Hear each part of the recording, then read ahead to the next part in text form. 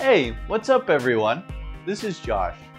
Welcome to our video tutorial series on beginning iOS unit and UI testing. In this series, we'll cover the basics of XCTest, the testing framework included in Xcode. We'll start with unit testing, including how to create a test target, write tests, create mocks, and more. We'll then cover user interface, or UI testing for short. This will include how to both manually write tests and how to get Xcode to do it for you.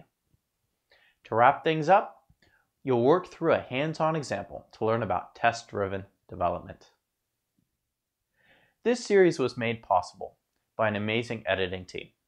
This included tech editors Partho Biswas and Mars Cui, and Final Pass editor Ray Wenderlich. By all means, give them a follow on Twitter. Before we jump into what unit testing and UI testing are about, we need to address the question, why even test at all? There's several good reasons. Amongst them, unit tests and UI tests prove your code works as intended. By running your tests frequently, they'll also help to prevent bugs and regressions in your codebase. Through writing tests, you'll also think more about the purposes and interactions of your classes. This results in living documentation that's always up to date. Whenever your code changes, your tests will need to change too. In this way, your tests serve as examples for how your code should work. Ultimately, however, the main reason we write tests is to create maintainable code that lasts. In order to write tests effectively, however, there are a few requirements.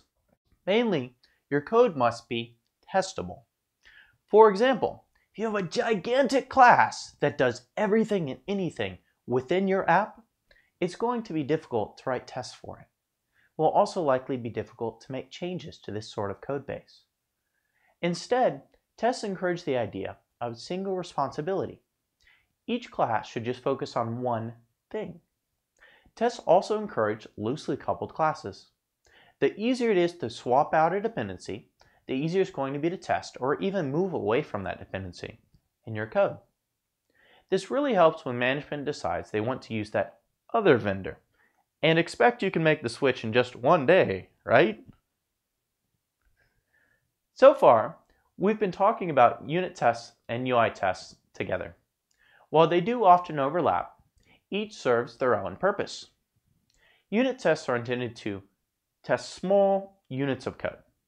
You'll frequently have tests that call a single method with a given input and expect a certain result.